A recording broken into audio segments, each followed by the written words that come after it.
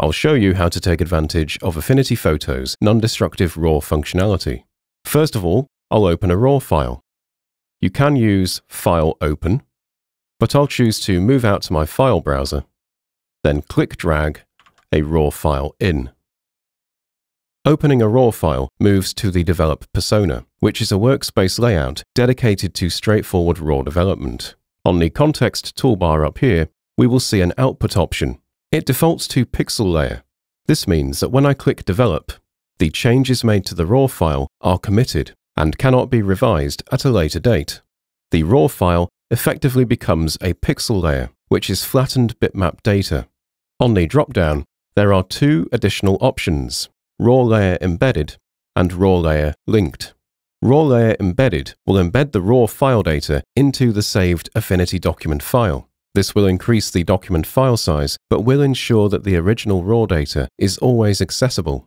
Raw layer linked will maintain an external link to the original raw file, in this case, the ORF file, and whenever we choose to redevelop the raw data, this file will be referred to.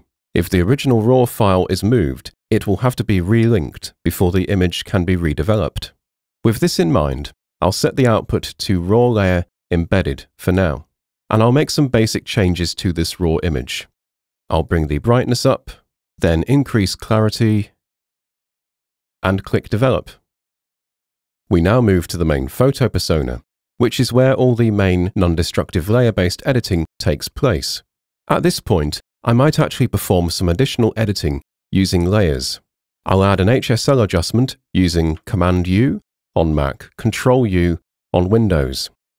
Then I'll bring the red saturation up and bring the cyan and blue saturation down. This helps accentuate the old Abbey building and de-emphasizes the background sky. I might then decide that I want to revise the initial RAW development settings. I can select the RAW layer, whose name will match the initial RAW image file name. Then I can either double-click on the thumbnail, or if I have the Move tool selected, using V on the keyboard, I can click Develop Image on the context toolbar. This re-enters the Develop persona, and the options will match the positions they were set to previously. I might decide to reduce the clarity slightly, and I might actually go in and change the white balance temperature and tint. I'll just make this image slightly warmer and reduce the tint slightly. Additionally, I may also increase the highlights to intensify the areas of the sky here. And to add more contrast, I'll switch to the Tones panel, enable curves, and create a basic spline graph that pushes the highlight tones up, whilst darkening the shadow tones slightly. Now, remember that I added an HSL adjustment in the main document layer stack, which reduced the saturation of the sky tones and increased the saturation of the building. That HSL adjustment is currently rendering onto the raw development result. On the context toolbar, if I uncheck Show All Layers, this will only show the raw image layer and hide all other layer work that may be above it in the layer stack. This is useful for evaluating changes being made on just the initial image. I'll enable the option again and click Develop. This redevelops the raw image using the original raw data, so there is no quality loss by repeatedly developing this layer if you need to perform multiple revisions. We can take this a step further if we were to use a workflow that involves masking. I'll drag this raw file in and offer it to the top toolbar, which will open it as a separate document. Once again, we will start in the Develop persona. And for now, I'll just check I have the output set to raw layer embedded and click Develop. Now I'll select the Selection Brush tool from the Tools panel on the left increase the brush width, and then drag across the image to select the foreground, including the tree. From the Context toolbar, I'll click Refine, and this will enter Selection Refinement. I'll increase my brush width again, then click drag across all the difficult foliage detail and release the mouse button to refine it. On the output drop-down, I'll select Mask and click Apply. This masks out the background, allowing me to insert a replacement sky. To do this, I'll go out to my file browser, then click drag this sky image in, and release the mouse button to place it. I'll click drag it underneath the raw image layer on the Layers panel so it renders correctly, then select the Move tool with V on the keyboard and position it. I can turn snapping on up here to ensure it snaps to the bounds of the document. At this point, to match the foreground tonally with the new sky, I might decide I want to revise my raw development settings. I'll select the raw image, and although I could click Develop Image, this time I'll double-click the thumbnail, and we're now back in the Develop persona. Now, if I make a change, such as increasing the brightness, the mask rendering is retained, and the replacement sky is still being displayed, but not affected. I might also increase the saturation to help the foreground blend with the new sky.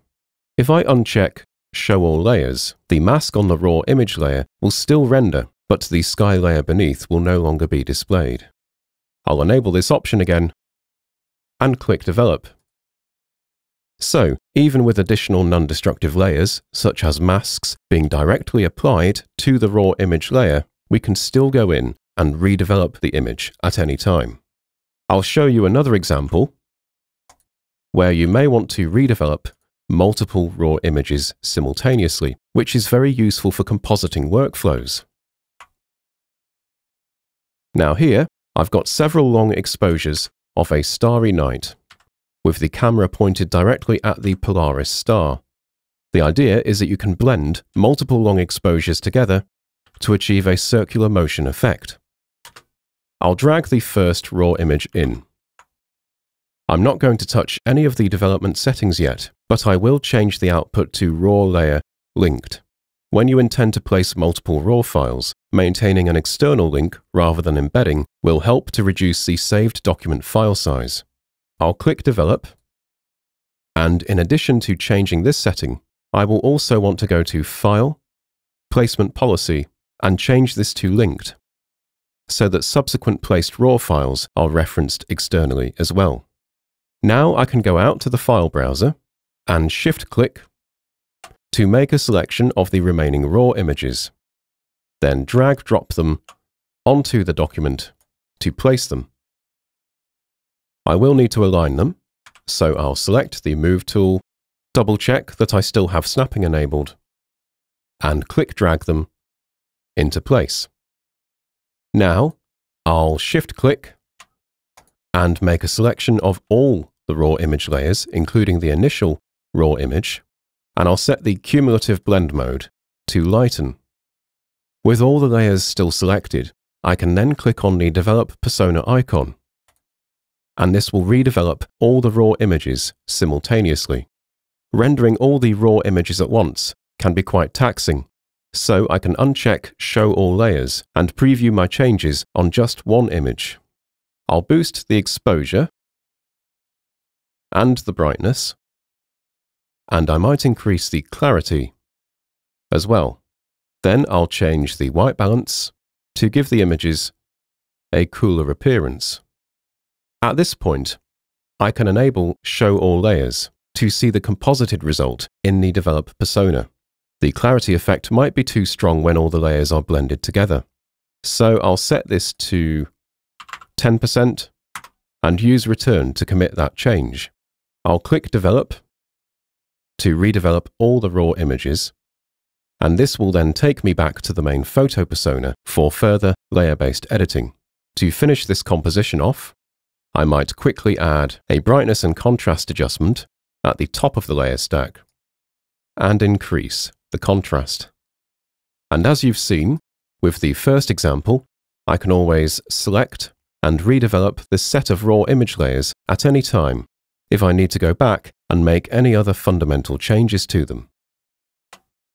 Anyway, I hope you found this video useful. Thank you for watching.